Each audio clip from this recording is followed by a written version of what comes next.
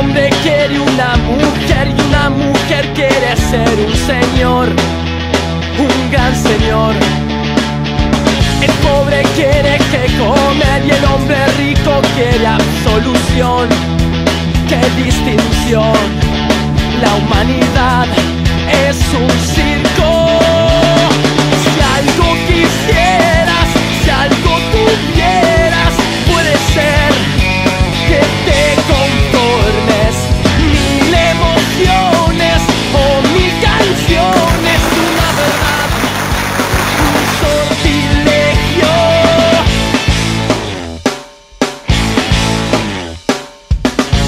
Mono quiere dominar, invade